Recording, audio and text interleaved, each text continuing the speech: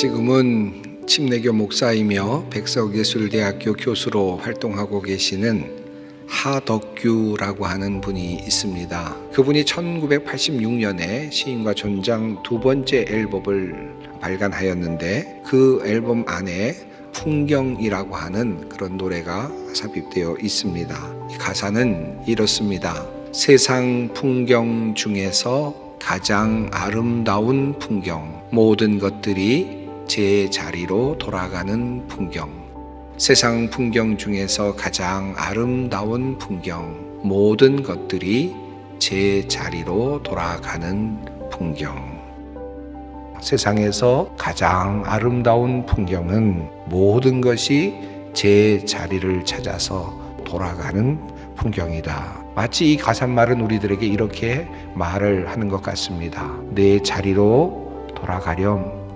내 자리가 정말 내가 있어야 할 자리인지 다시 한번 살펴보렴. 그리고 만약 내 자리가 그 자리가 아니라고 생각한다면 너의 원래 자리로 돌아가렴. 그렇게 말을 거는 듯 보입니다. 내 자리로 돌아갈 때 너는 진정 행복하게 될 것이야. 내 자리를 찾게 될 때 너는 정말 아름다운 모습을 보여줄 수 있을 거야. 라고 우리에게 말하고 있는 듯 보입니다. 이 노래를 부르면서 그는 방황하고 있었다. 라고 고백합니다. 그러면서 이렇게 자기 자신 안에서 질문을 던지고 있었다는 것입니다. 모든 것이 제 자리를 찾아 돌아가는 것이 참 아름다운 풍경인데, 과연 나의 자리는 어디인가? 나는 어디로 가고 있다는 말인가? 내가 가야 할 곳은 어디인가? 나의 종착역은 어디인가?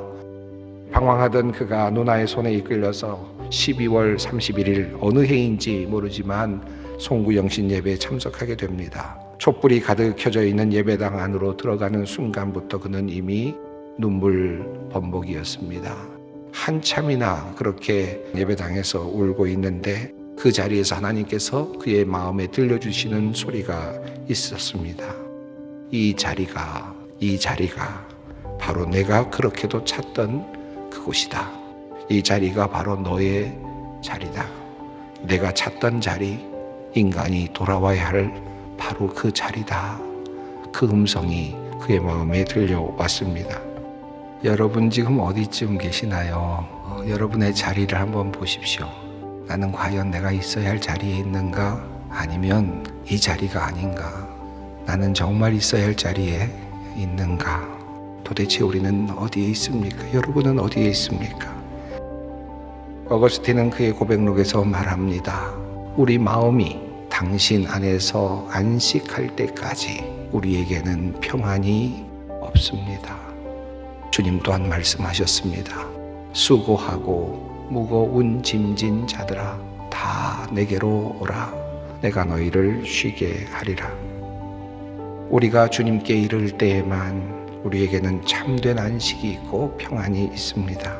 코로나로 인해서 우리가 2년여 이상 우리의 자리를 제대로 채우지 못했습니다. 이제 또 여러분이 돌아와야 할 시기가 되기도 하셨습니다.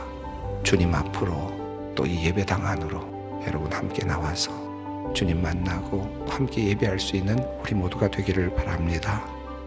내 자리로 돌아오라, 나에게로 돌아오라. 이 주님의 간절한 부르심에 우리 모두가 응답할 수 있기를 바랍니다.